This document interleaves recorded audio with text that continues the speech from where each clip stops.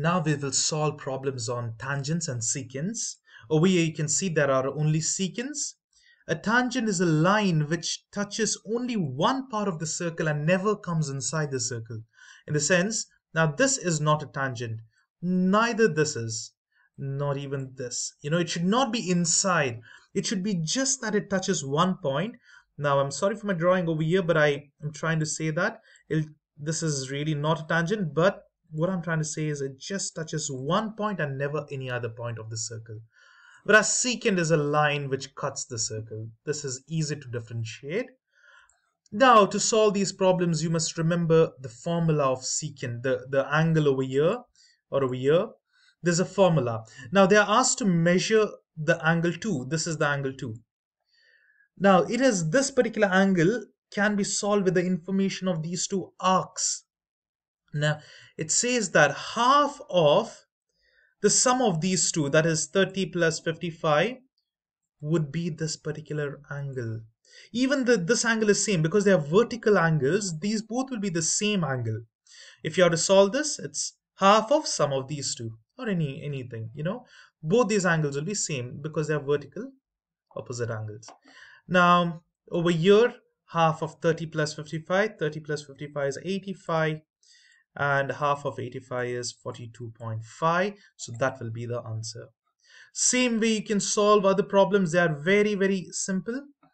Now over here you can see they have asked you to find the measure of arc GS GH but they have given this angle.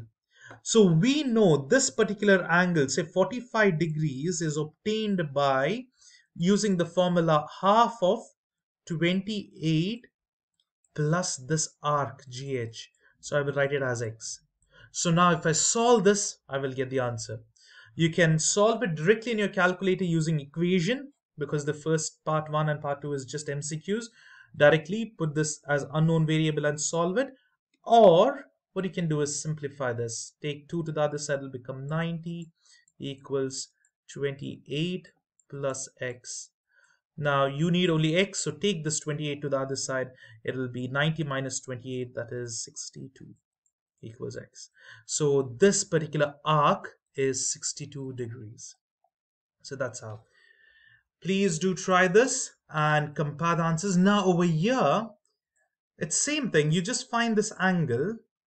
Say you, you over here when you solve, you will get 43. So now this is 43. But the problem is not over because they want this particular measure. And you can see this is a straight line. So angles in a straight line sum up to be supplementary or 180 degrees. So I know this is 43 subtracted from 180. 180 minus 43 will be the remaining angle. Why? Because the total is always 180 and I found out one of the angle is 43. What is the remaining angle? Subtract it, you will get the answer. It's 137. So it's very simple. And now this is the answers of the previous problems. There is one more type. What if there are tangents? Okay, they have told, assume the segments that appear to be tangents are tangents. See now, if it looks like a tangent, see this is supposed to look like a tangent, that means it's a tangent. So it's coming uh, at the end of the circle, right? So they are all tangents. Now, how do we solve this? There is a formula for this. Now, over here, it's a very simple one. It's half, always half. The angles will be half of the arcs, but you see a tangent and a secant, then just half of this arc arc would be the answer. So half of 168 is the answer. That's it. Now over here, measure of angle 3 is half of this big arc. Nothing else. Because this is a tangent, and this is a secant.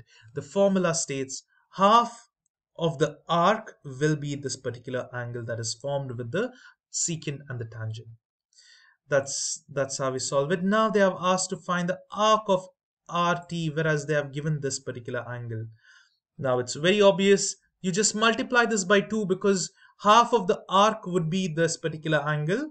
Now 74 multiplied by 2 would be the answer it'll be 1 for 150 minus 2 is 148 yes. So that would be the answer. And I hope it is clear. It is okay now I will just quickly solve this one. It's all same but they have just given the the given values are different. Now over here you need to you, you have been uh, you have to find this particular angle. That is measure of angle 6 but this particular arc is unknown. But you know this side so how much is the total angle of a uh, circle? If you think you will remember it's 360 degrees.